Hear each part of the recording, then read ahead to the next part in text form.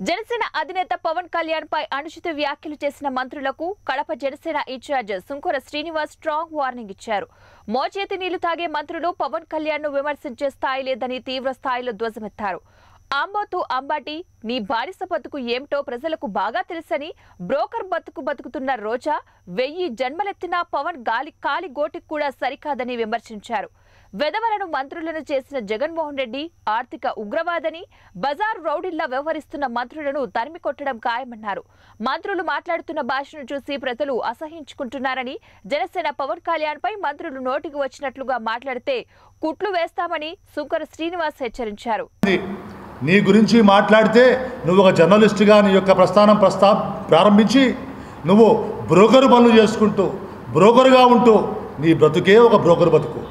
నువ్వు మాట్లాడేదన్నీ ఈరోజు ఒక దుర్మార్గుడు ఆర్థిక తీవ్రవాది దగ్గర ఒక బిస్కెట్లు తినే ఒక బ్రోకర్ గాడివి ఒక నాయకుడి గురించి. ఈరోజు భారతదేశంలోనే గొప్ప నాయకుడిగా మారుతున్నటువంటి మా నాయకుడి గురించి నువ్వు మాట్లాడడం దయ్యాలు వేదాలు వల్లించినట్టు. అవి కూడా సిగ్గుపడుతున్నాయి దయ్యాలు కూడా.